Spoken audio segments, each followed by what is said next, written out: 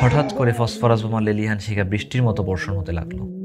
নাম পরিচয় না পাওয়া ইউনুসেন শিশুরা বোমার আঘাতে ক্ষত বিক্ষত দেহ নিয়ে পড়ে আছে হসপিটালের কেবিনে। মায়ের চাহনি দিয়ে হয়তো এও বলছে, আমি আল্লাহকে সবই বলে দেব। আর তার মা বাবা তারা কবেই শহীদ হয়ে হারিয়ে গেছে আপন বাড়ির ধ্বংসস্তূপে। দানবাকৃতির মিসাইল নিয়ে উড়ে যাচ্ছে ফাইটার জেটগুলো নতুন কোনো গণহত্যায় মেতে ওঠার জন্য। সারি সারি প্লাস্টিক বেগে ক্ষত বিক্ষত দেহ পড়ে আছে দাফনের অপেক্ষায়। আর আমাদের প্রশান্তির স্থান, মসজিদগুলো, সেগুলো মুখ থুবড়ে ধসে পড়ে আছে। হ্যাঁ আমি আলকুৎসের কথা বলছি। এই চিত্র শামের পূর্ণভূমি ফিলিস্তিনে অবস্থিত আমাদের অসহায় নির্যাতিত ভাই বোনদের রসুল্লাহ সাল্লাহ আলাইস্লামের ইসরা, মিরাজ ও আমাদের প্রথম কিবলার ভূমি। হাজার হাজার নবী রসুল আলহিমসাল্লামের মাতৃভূমি ফিলিস্তিন, বিগত কয়েক দশক যাবৎ নাপাক ইহুদি ও জায়নিসদের দখলে রয়েছে।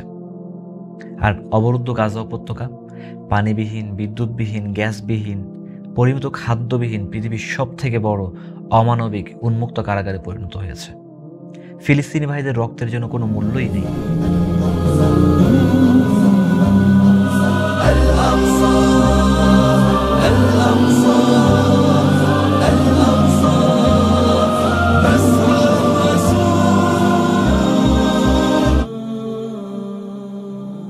অথচ এই মাসজিদুল আকসা আমাদের আবেগ আমাদের ভালোবাসা এবং আমাদের বিশ্বাসের অংশ। এখানে মেয়ারাজের রাতে রসুল সাল্লাহ আলী ওসাল্লাম লক্ষ লক্ষ নবীদের নিয়ে সলাত আদায় করেছিলেন। শত শত বছর ধরে মুসলিমদের ইতিহাস আর ঐতিহ্য নিয়ে দাঁড়িয়ে আছে এই পবিত্র প্রাঙ্গণ।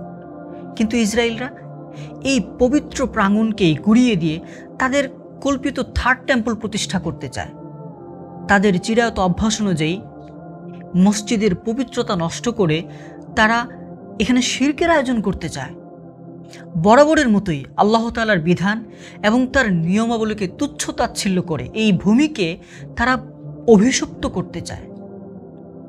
এই যে মসজিদুল আকসাকে নিয়ে ইসরায়েলদের এত এত ষড়যন্ত্র, এটা কি শুধুমাত্র ফিলিস্তিনি ভাই বোনদের সমস্যা?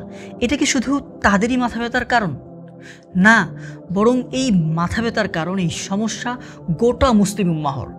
এই প্রাঙ্গণ গোটা মুসলিম উম্মাহর ভূমি। তো একজন মুসলিম হিসাবে আমাদের করণীয় কি? আমরা কি করতে পারি এই অবস্থায়? চলুন রসুল সাল্লাহ আলী আসসালামের হাদিস থেকেই আমাদের করণীয় খুঁজে নেই। রসুল সাল্লাহ আলী আসসালাম বলেন, মান আমিং কুম্বন কারণ তোমাদের মধ্যে কেউ যদি কোনো একটা মন্দ কাজ দেখে ফাল ইয়গাইয়ের হবিয়াদি সে যেন এটা তার হাত দিয়ে সেজন্য এটা তার শক্তি দিয়ে প্রতিহত করে, প্রতিবাদ করে। ফা ইল্লাম ইয়াস্তাতে, যদি তার এতটুকু সক্ষমতা না থাকে ফ্যাবিলিসানি তাহলে অন্তত সে যেন তার কথা দিয়ে, সে যেন তার জবান দিয়ে এটাকে প্রতিহত করার চেষ্টা করে। ফা ইল্লাম ইয়াস্তাতে, যদি তার এইটুকু সক্ষমতাও না থাকে, তাহলেও অন্তত সে যেন তার হৃদয় দিয়ে এটাকে ঘৃণা করে। ওদালিকা বাফুল ইমান এটাই হচ্ছে ইমানের সর্বনিম্ন স্তর। আজ থেকে প্রায় চার হাজার বছর আগের কথা। পৃথিবীতে বনু ইসরায়েল নামে একটি জাতির উদ্ভব হয়। দুনিয়ার এমন কোনো নাজ নিয়ামত নেই যা তাদেরকে দেয়া হয়নি। শিক্ষা, জ্ঞান গরিমা, শক্তি, প্রযুক্তি কোনো কিছুতেই তাদের কোনো কমতি ছিল না। কোরআনের ভাষায় ওফাবদুল্লাহুম আলাল আলামিন আমি তাদেরকে মানুষের মধ্যে সবচেয়ে বেশি প্রাধান্য দিয়েছি কিন্তু বরাবরের মতোই তাদের অধ্যত্বপূর্ণ আচরণের কারণে তারা আল্লাহর ক্রোধের শিকার হয়। অতপর আল্লাহ তালা তাদের ঘাড়ে লাঞ্ছনার মোহর মেরে দেন। যেমনটা কোরআনে কারিমে এরশাদ হয়েছে, দরিবাত আলাইহিমুদ্দিল্লাতু আইনামা সুকিফু, তারা যেখানেই থাকুক না কেন, তাদের উপর লাঞ্ছনার মোহর মেরে দেয়া হলো। মুসলমানদের সঙ্গে তাদের আচরণ বরাবরই চরম, জঘন্য এবং অমানবিক। যেমনটা কোরআনে কারিমে আল্লাহ তালা বলেন, লাতাজিদান্না আসাদ্দান্নাসি আদাওয়াতাল্লিল্লাদিনা আমানুল ইয়াহুদা ওয়াল্লাদিনা আশরাকু। পৃথিবীতে মানুষের মধ্যে মুমিনদের সবচেয়ে বড় শত্রু হলো ইহুদি এবং মুশরিকরা। আজ থেকে প্রায় পঁচাত্তর বছর আগের কথা। সালটা ছিল উনিশশো সাতচল্লিশ। ইহুদিরা শরণার্থী হয়ে ফিলিস্তিনের দলে দলে প্রবেশ করছিল।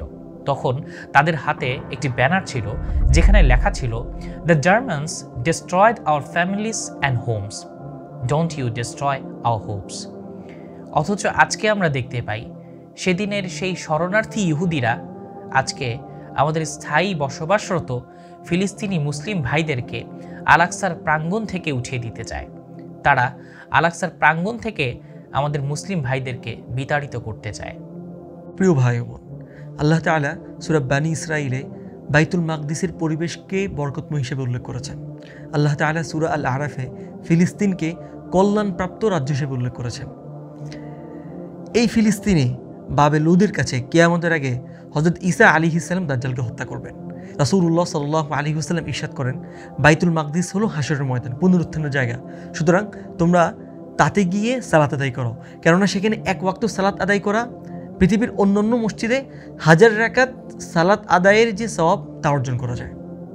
হাদিসের ভাষায়, বাইতুল মাকদিস এটা শুধুমাত্র আমাদের আইবাদতের ভূমি নয়, বরং এটা আমাদের প্রশান্তির জায়গা। সো সেখানে বসবাসরত মুসলিমগণ, তারা আমাদেরই ভাই, তারা আমাদের এই উম্মা তাদের দুঃখ কষ্ট, এটা গোটা মুসলিম উম্মাহের দুঃখ কষ্ট। সো তাদের উপর কোনো ধরনের সন্ত্রাসবাদ কিংবা তাদের উপর কোনো ধরনের স্যাংশন এটা প্রকারান্তরে গোটা মুসলিম উম্মাহের উপর সন্ত্রাসবাদিতা এবং স্যাংশন দেওয়ার সামিল। বর্তমান সময় ফিলিস্তিনে যে সকল ভাইরা আলকুদসকে মুক্ত করার জন্য প্রতিরোধ করছেন, আল্লাহ তালা তাদের বিজয়কে ত্বরান্বিত করুন।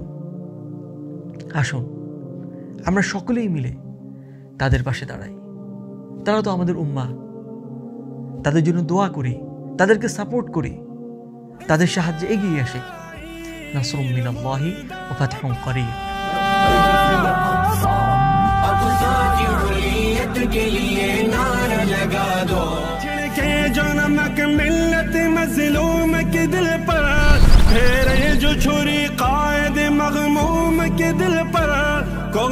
نام بپا ہو، اسی مشعوم کے دل پر دستور کے غدار کو فل فور بھگا دو۔